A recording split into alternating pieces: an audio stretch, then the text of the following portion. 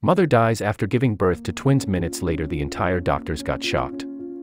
A young mom dies after giving birth to twins and doctors are saying it is because of COVID-19. Yet, her husband is inspiring so many with his unwavering faith by trusting God's plan, even in the face of such a horrible tragedy.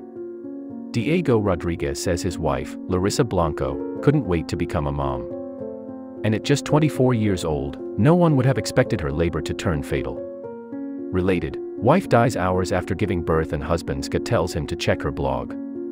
However, Larissa only lived long enough to bring two beautiful blessings into this world before leaving it herself.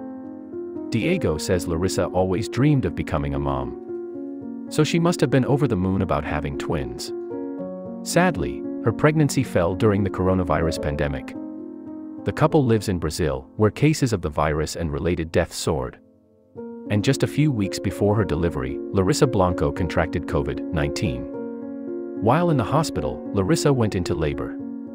And at first, everything seemed just fine. I was in the surgery room and they were taking the first baby out, Diego recalled.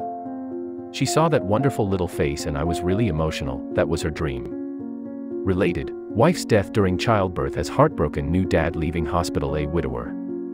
Next, there was a small complication but then the second baby arrived safely. Diego left the room to follow the newborns, thinking his wife was okay.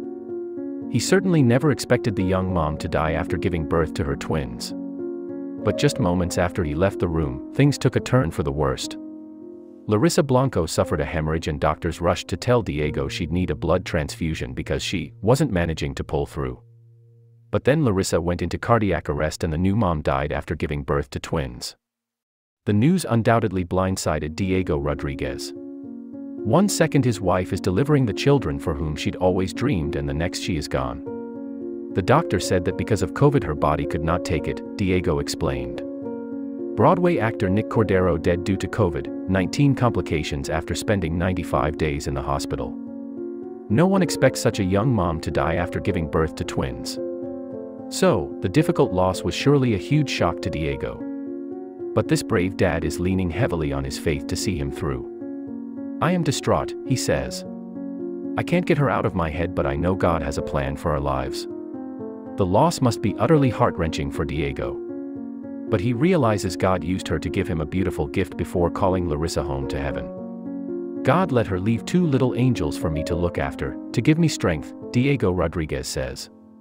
I cried so much when I first saw them, it was the most beautiful thing.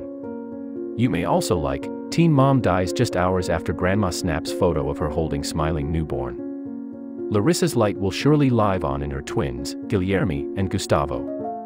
And while we'll never understand why things like this happen, we know God will always make good on his promise to somehow work all things, even the tragedies, together for good.